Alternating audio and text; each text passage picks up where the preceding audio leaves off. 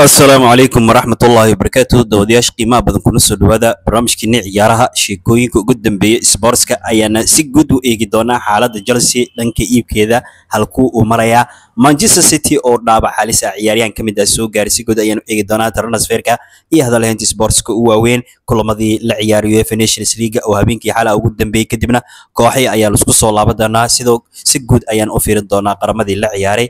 Fadlan haddii aad ka cusubta janaalka noo subscribe gare like share comment kama marna waad ku mahadsantihiin sida wanaag ku dhahan aad mar walba nala socotaan. Aynu ku horumarno kulamadii la ciyaaray ayaan ismootinaynaa. Xulka england ayaa laba gool iyo eber kaga adkaaday xulka villan kaasoo lee casley bandhiga oo xulka england uu ku wado aad looga helo. Waxaa laga yaabaa ninkani maadaama heshiisku meelgaar uu yahay laga yaabo in uu joogta ugu dhigo maadaama uefa nations league labada kulan xulka xulka uu waday waa uu guuleystay. Harry kane ayaana maamuus loo sameynaya habeenkii xalaha maadaama kulankiisii boqolaad xulka england uu ciyaarayay wuxuuna doonayaa ninkani in xulkiisa koob u qaato xilli haliyeeyii hore oo koob xulka england aynasan u qaadin kulamo badan u saftayna ay soo mareen laakiin ninkani waa koob la'aan xifradiisa ciyaareed wax koob ah mu haysto. Marka wuxuu isku dayayaa in uu xulkiisa koob u qaado. Harry kane habeenkii xalahana laba gool ayuuna ku tuurtay kaas oo lixdan iyo toddoba daqiiqo iyo toddobaatan iyo lix daqiiqo uu shabaqa gaaray. Marka lee casley waxaa lagu ammaanayaa xidiga uu haysto. Waa kuwa da'yar oo koo iyo jirada england uu ku soo haystay ayuuna garoonka la soo shirtegayaa maalmihii ugu dambeeyey kulamadii ciyaarsiina oo ka mid yahay nuno maduwake oo kale oo habeenkii xalaha gool caabiyey mid ka mid ah xidigihii manchester united oo akademikadeed ka soo baxay hadda dhankan iyo faransiis ku dambeeyo ee ninka lagu magacaabo gomes war ninkan aniga waa la yaab. Waar bandhiga xifradda ku jirta ciyaarnigaas innaba caadi maaha. Waa waa shavi iyo tiaga alcantara la isku daray. Waa ninkaas. Wallahi wax yar ayaa banoonigiis daabadiyay sida uu ciyaaraya ninkaas gaaban. Innaba caadi maaha. Manchester adooba xidigaas gacantooda ka baxsaday. Waa mid ka mid ah taalantida ugu fiican. Habeenkii xalaha ingiriiska ninkan waa uu ciyaarayay. Kasta uu ciyaaraya bandhiga uu sameeyey innaba caadi ma ahayn war wuxuu ku wareegaha dhanka goolhayaha ilaa iyo qadka dhexe. Intuu ka dhiibaa wantuusda u ciyaaraya aniga haddaan ahay haddaad ila aragteen aragti ahaan cunugaasi oo gomiska lagu magacaabo iyo in kale ma sheegi kara bal aragtideeda war ninkaas banaanka ayuu ku dhacay. Idinkana commentii ka soo dhiibto waa midka lagu magacaabo gomiska gaaban. Waa nin gaaban haddana.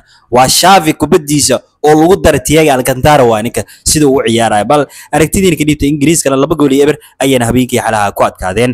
Sidoo kale ciyaartii weyneed ee germal iyo netherland u dhexaysana laba gool iyo laba ayayna ku soo idlaatay waa ciyaar inaba aan caadi ahayn oo amsterdam lagu ciyaarayay ayayna ciyaartaasi ahaayeen. Xilli regnangers ninkan xulka waa lagu fukadaa asiga ayaa gool u dhaliyay daqiiqadii labaad. Soddon iyo sideed daqiiqana waa laga soo bareejeeyey denveras ayaa konton daqiiqo intuusan gaarin laakiin kimij ayaa gool dhaliyay qaybtii hore laba hal jarmal ku mareen waa laga soo bareejiyay. Laba gool iyo laba ayay ciyaartii weyneed ee ku soo adkaa ee ku soo dhammaatay holland iyo jarmal waa ciyaartii weyneed sidaas ayayna ku soo dhammaatay dhanka kale haddii ayna fiir reer america iyagana waxay ciyaarayaan markay kuwan europe iyo nations league ciyaaraya iyaga israel world cup ayay ciyaarayaan. Argentine ayaa recordkii in badan ay haysatay laga soo idlay laba gool iyo hal. Waxaa ugu adkaatay xulka ee koobka ka qaadeen america colombia. Laba gool iyo hal ayaana looga adkaaday xulka argentine shan iyo labaatan daqiiqa mar ay maraysay ayaa gool laga dheliyay gonzales ayaan u bareejiyey laakiin hamis rodriguez ninkaani aan duqoomin ayaa goolka guusha u dheliyay colombiana. Guul weyn ayay gaar taas way ka dhiganta laba iyo toban kulan ee guuleysanaya argentine in hadda laga soo idleeyey guuldaro ayaana ku dhacday xulka colombia ayaana ka adkaaday. Marka colombia waa xulalka ka mid ah kuwa ugu adag ayayna qayb ka yihiin iyaga ayaana ka adkaaday. Marka argentine guuldaradaas ayaa ku dhacday. Argentine kelima brazil xataa guuldaro ayaa ku dhacday. Hal gool iyo eber waxaa kaga adkaaday xulka paraguay. Labaatan daqiiqa marka ay maraysay ayaa gool laga dheliyay brazilna waa loogu dhimay. Horta brazil meesha macalin ma ku haayaan guuldaradaasna waa ku dhacday iyaga ayay qusaysaa waa markasaan koob adduun iyo koob kaleeto. Ma kaga qaybgeli karaan xulka lagu magacaabo brazil. Guuldaradaasi ayaana ku dhacday. Uruguay iyo venezuela barbaro eber eber ayayna ku soo idlaatay. Waa xulalkii kulamadii la ciyaaray ayayna kuwaasi ahaayeen.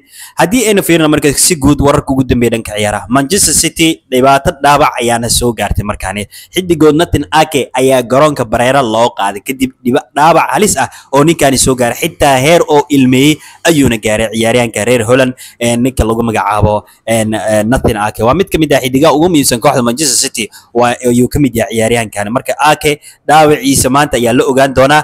Dhaawac halis ah waa ayaa la leeyahay ninkani maadaama bareelo loogu saaro. Marka manchester city dhibaato dhaawac ayaana soo gaarta haddii arsenal ee u nugulnayd xidigahooda xulalka ee ku soo dhaawacmeen maalmihii ugu dambeeyey hadda manchester city ayaana la soo galay. Sida daily mail ay soo warinayso dhanka kale haddii aynu fiirino waxaa la qaatay guddiga premier league ayaa soo saaray go'aankii ugu dambeeyey ee casaankii dagla rice oo ku qaatay kooxda brighton oo ninkan casaan lagu siiyo asigoo jaalo qabo.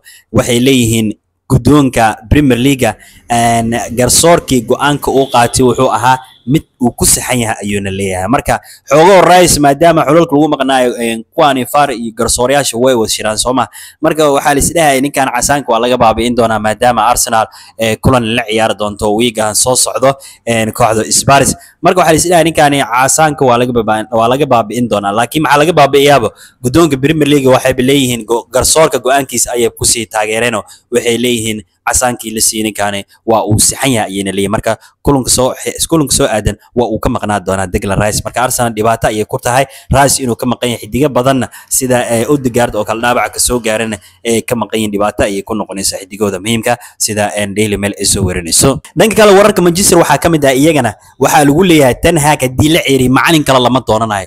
Fanisteroy waxaaba loo keena waxay tahay in ten hag uu shaqada ka bedelo qorshe ayay meeshaane manchester united ay adeegsadeen. Ninkan ten hag asigaa dalbaday macalimiinta reer holland in loo keeno si ay ula shaqeeyaan maadaama reer holland ay isla ay si fiican isku fahmayaan. Laakiin meeshan qorshe ayaa ku jirtay.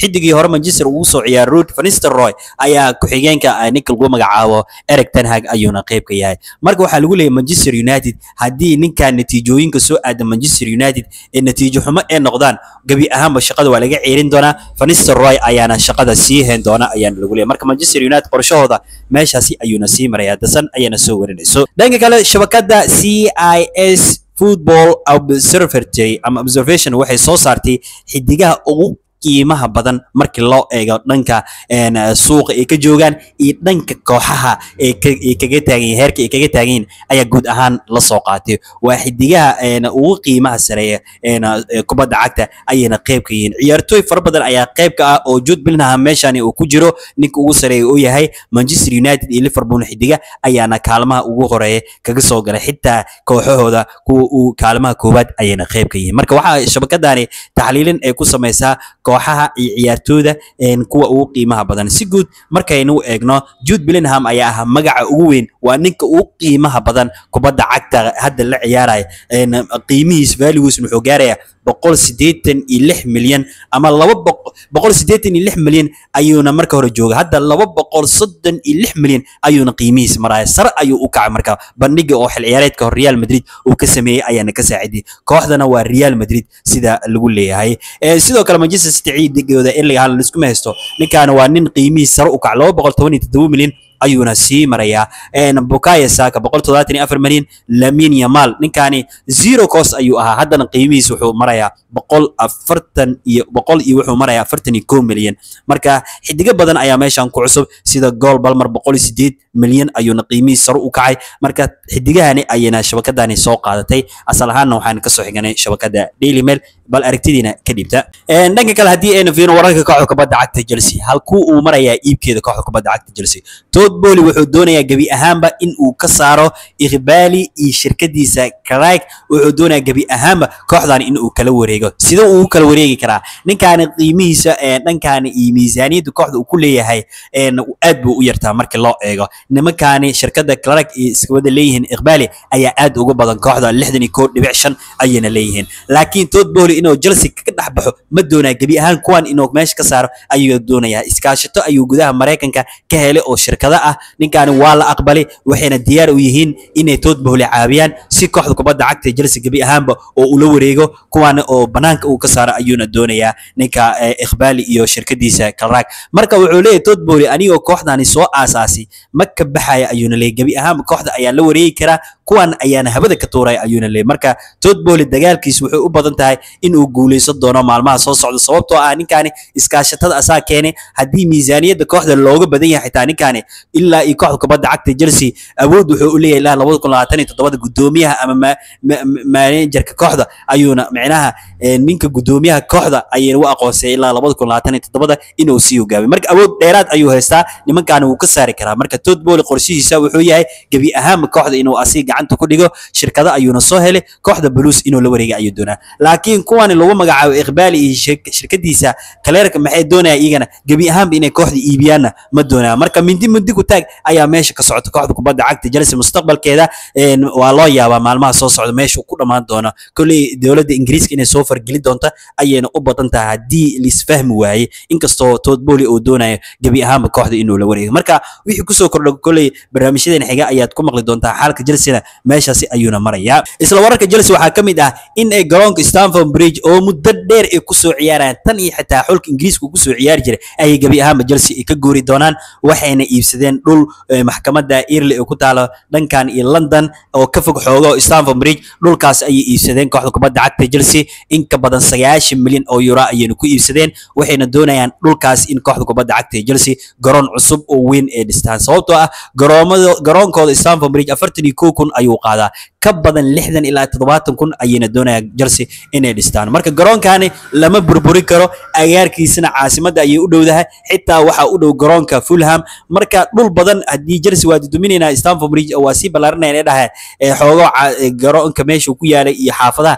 ayay saameyn ku noqotay. Marka dhulkaas ay gateen ayay gebi ahaanba Chelsea u guuri doonaan laakiin projectigan xilliga la dhisi doono garoonka Chelsea lama cadeynin waqtiga ayaan u deyn doonaa. Inkastoo Chelsea mustaqbalkeeda ilaa hadda la isku dagaalayo laakiin Blues meeshaas ayay dhul eh, ka gateen. Dhulkaas ayayna dhisan doonaan. Mustaqbalka soo socdo garoonkaas ayayna eh, dhisan doonaan. Stamford Bridge-na way ka guuri doonaan. Ayaana lagu leeyahay kooxda kubadda cagta Chelsea. Sida eh, Damir ay soo warinayso. Dhanka kale Cristiano Ronaldo ayaa magacaabay xidigaha mustaqbalka ku heesan doono ama ku guuleysan doono Ballon d'Oro sida Kylian Mbappe oo kaleeto. Xitaa ilaa hadda lama bixinin eh, Ballon d'Oro laakiin Ronaldo wareysi laga qaado wuxuu ku sheegay Mbappe inuu ku guuleysan doono iyo Haaland iyo Lamine Yamal iyo Jude Bellingham. Xitaa sanadaha soo socda waa dadka mar walba taagan qaadi doona ayay noqon doonaan ayuuna leeyahay. Xilli wareysi oo Ferdinand ka qaadaya ayuu ku sheegay. Inkastoo Ferdinand yiri Vinicius Junior ka Vinicius Junior Ronaldo sooma qaadin. Marka ninkaas wuxuu ogyahay labadoo maalin iyo iyo buuq in wax lagu qaadeen ayuu ogyahay marka Ronaldo marka xidigaha tartan adag u gali karo een ku guuleysan karo waa xidigahani ayuuna leeyahay Cristiano Ronaldo sida wararka ay leeyihiin. Dhanka transferka haddii ayna sii raacsano Joshua Kimmich ayaa doonaya inuu ku biiro kooxda kubadda cagta Barcelona. Marka uu qandaraaskiisa dhamaado gebi ahaan wuxuu doonayaa inuu iskaga tago kooxda Bayern Munich. Barcelona ayuuna doorbidaya inuu ku biiro sida wararka ay leeyihiin. Dhanka Manchester United ayaana markaani u kurgalaysa qaabkii ku soo qaadan lahayd Cristiano Romero oo u ciyaara kooxda kubadda cagta ee Tottenham. Waa mid ka mid ah difaacyada ugu adag haddana Rosiis banaanka iska waa. Ninkan waa nin dagaalyahan asi iyo kamaalaha haddii isheli lahay Manchester United difaacood lama moodi lama moodi karo. Labadaas haddii isku helaan Manchester United ah difaaciida lama moodi karo. Waa laba kabaaniyaal oo haddana Argentina u ciyaaro. Shaafto badihiin Rozoodna waxa waaye Rose agtood wax kama ah marka Manchester United ninkan haddii ay qaataan Manchester difaacooda sanadaha soo socdo mid adag ayuu noqon doonaa. Hadda laakiin xanta ugu dambeysa waxaa lagu leeyahay Romero ayay doontay Manchester United inkastoo kooxaha Real Madrid iyo kuwo kale ee baadigoob ay ugu jiraan sida Daily Mail ay soo warinayso. Dhanka Real Madrid ayaa lagu soo waramayaa markan inay doonanayso goolahayaha kooxda kubadda cagta AC Milan ninka lagu magacaabo Mag Magnan maadaama Lunin xagaaga dambe oo kooxda Madrid uu iskaga tegi doono Courtois mustaqbalkiisa ee Real Madrid waxaa laga yaabaa ilaa iyo 2026 inuu ku ekaan doono. Marka goolahaya muddo dheer sii haysan doonaan ayayna doonayaan Madrid. Xidigan ayaa bartilmaameed u ah sida Transfer News Live ay soo warinayso.